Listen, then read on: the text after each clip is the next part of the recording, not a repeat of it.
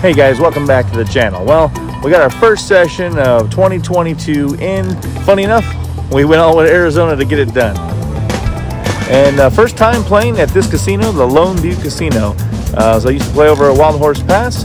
And uh, so yeah, new new uh, casino room, beautiful room, uh, nice tables, uh, very comfortable, great chairs.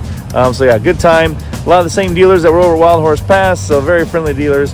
Just a really good room all around. So I had a good time. Uh, we're on the list uh, for the 3-5 game, and there's probably about 12 or so of us on the list. Uh, it's, a, it's a Wednesday night, so that game never got going. We played 2-3 to start the year out. Uh, max buying is 600. Uh, we bought it for the max, and uh, we just played two hours, maybe like two hours, 10 minutes.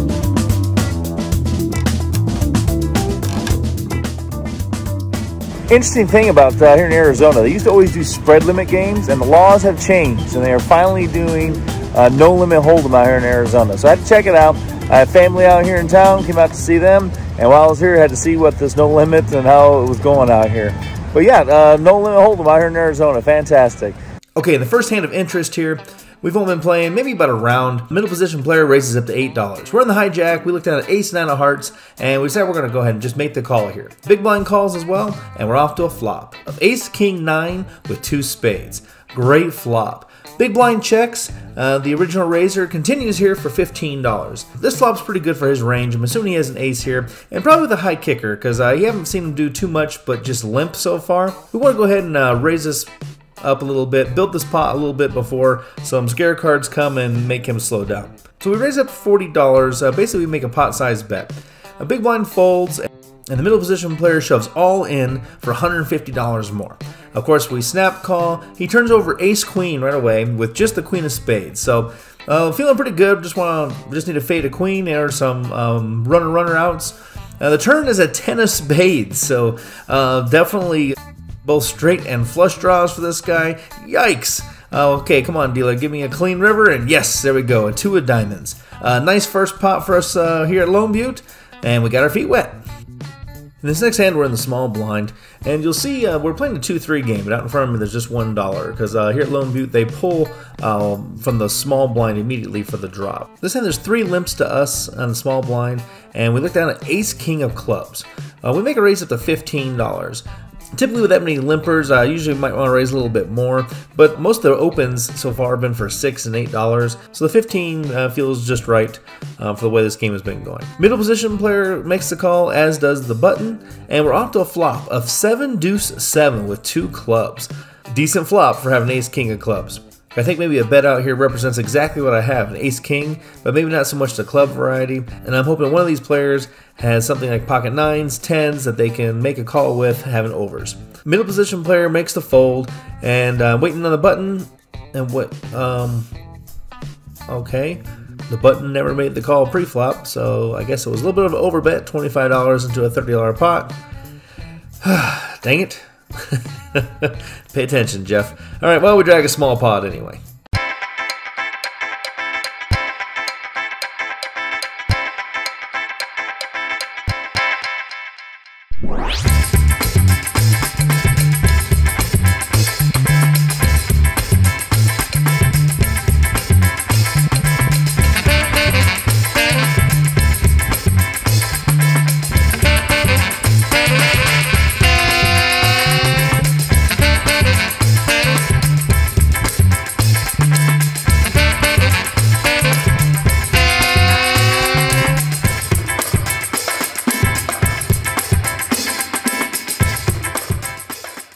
Okay, for the next few hands, we're playing seven-handed.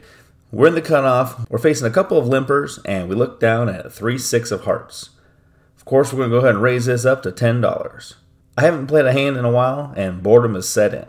I know, not the greatest raise when I got a couple limpers in front of me. Only raising to $10, I'm sure to get some calls. But according to my boredom range chart, well, this is the perfect opportunity to raise. So what this chart shows basically is everything in the yellow there, when you're bored, Go ahead and raise it up. Give it a shot. Play a hand. The button in both the blinds make the fold. Under the gun limper makes the call. And the middle position limper takes some time, thinks about it, really gives it some thought, and decides to raise it up to $34. I think back to my study and I remember my boredom three bet calling chart. We take a look at this here, and yep, right there, everything in the green. Well, that's something if you're bored and you've already made a raise, you can call a three bet with. And especially because I have another player to act who more than likely is going to go ahead and call the other $20 with so much in the pot. Best thing of all, I'm in position. And technically, I could actually four bet in position when I'm bored, but we'll slow it down. That's next level stuff that eh, maybe we'll get into another time. So after considering all that, we go ahead and make the call. Under the gun makes the call as well, and we're off to a flop of King Queen 4 with two hearts. Under the gun checks. Middle position continues for $35. Of course, at this point, I'm calling. We had a heart draw, and hey, we even have a backdoor straight draw. And it's 4 to 1 on my call right now, so we're going to go ahead and see a turn. And under the gun folds. The turn is a 2 of diamonds, so now we have a gut shot to the straight. Still have our flush draw.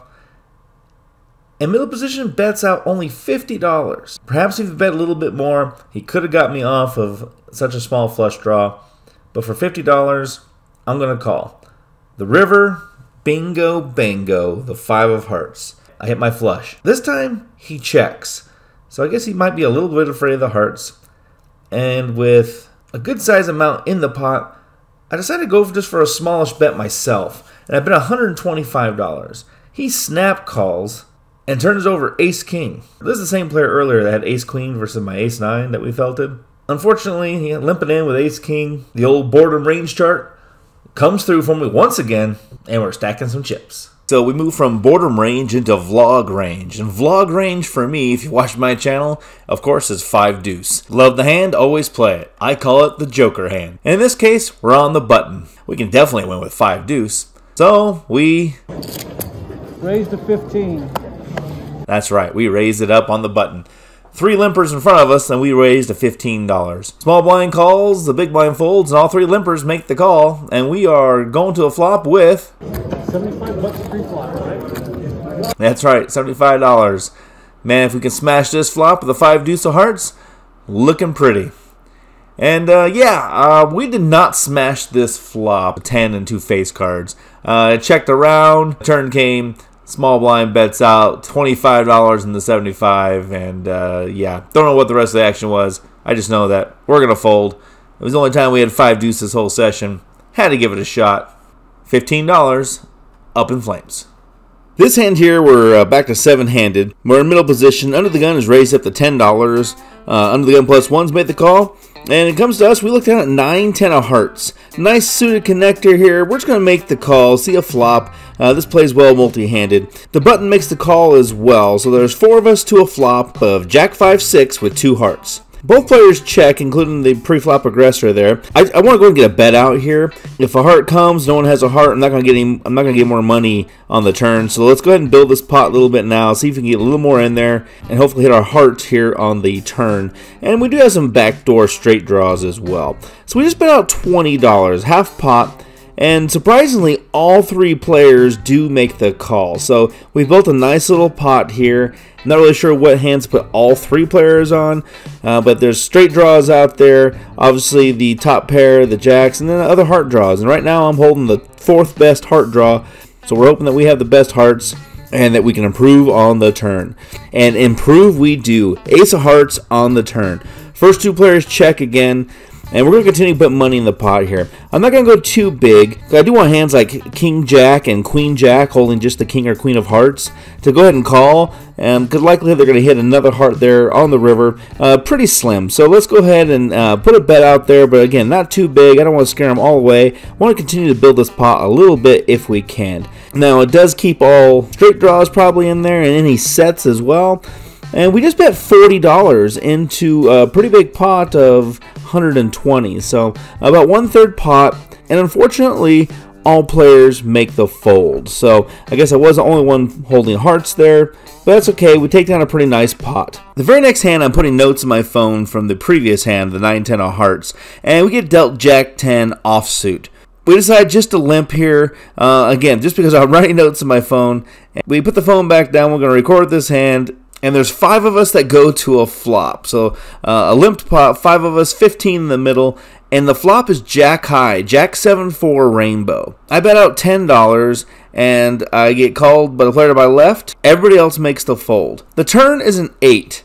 And I'm first to act, Here, we bet $20 out, and he quickly makes the call. So we're sitting here with top pair. We do have a gut shot straight draw. I'm not putting money on aces, kings, or queens right now, but I am putting them on probably a jack as well, uh, with maybe a better kicker. There's been a pretty passive table, so it, wouldn't surprise me for him to show up with something like a you know king jack, ace jack, and just have limped in as well. The river is decent. It is a nine. It completes our straight draw, and I believe it is a little bit disguised of a straight as well. I bet out forty dollars I'm not sure he's going to call much more here with maybe just top pair and a good kicker.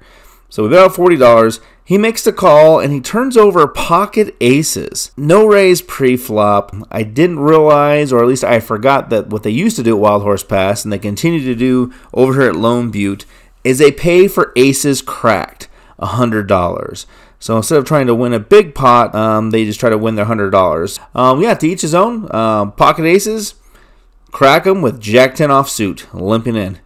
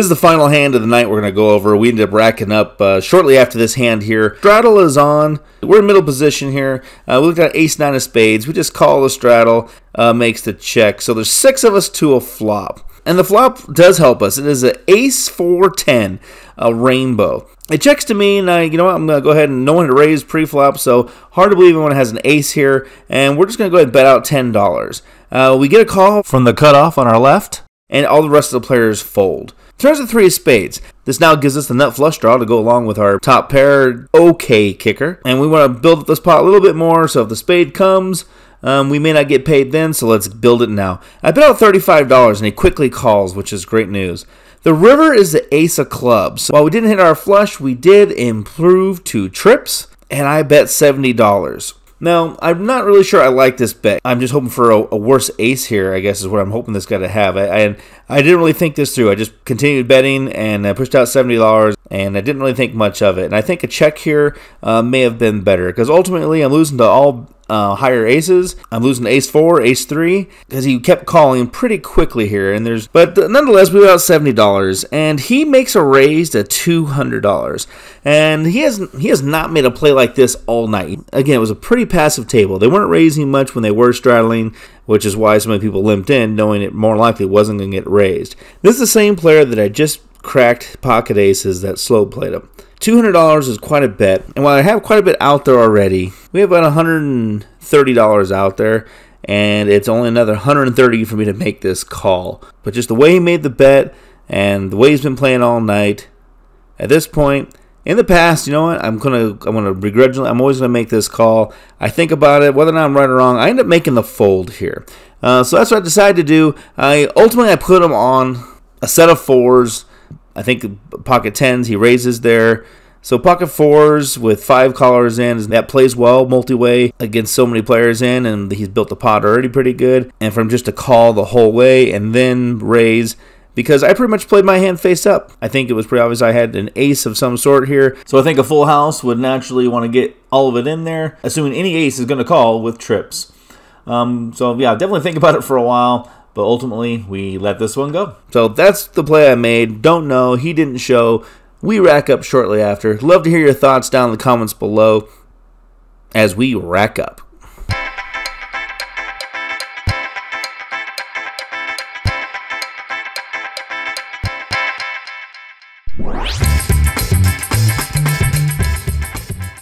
Um, didn't have like any big hands. You'll know it was great to actually put in a good winning session. Uh, no aces, no kings, no queens, no jacks, no tens. Actually, you know what? I believe I was dealt two pocket pairs all night. They were both pocket deuces. I saw a flop both times, and yeah, nothing materialized, and we folded. So um, a little over two hours. That's probably the first time I've probably did a session without any pocket pairs whatsoever. Uh, so yeah, we were uh, making things work with our suited connectors and uh, playing our position well. A couple of hands, yeah, you know what? Uh, the rust was there. Definitely the rust was there at a couple of those hands.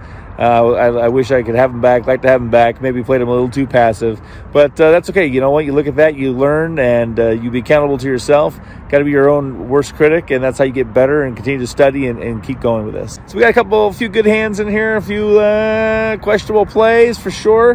I'm sure I'll get some comments down below. That's great. That's what we're here for. Uh, we all learn. We all look at it. We all play things differently. And uh, you know, it was a it was Wednesday night, a little bit of a passive game, but uh, that's okay. Um, really enjoyed coming out here, getting the game going, and you know, we're gonna we're gonna run this up. All right, guys. Well, thanks for joining me. We'll see you at the tables.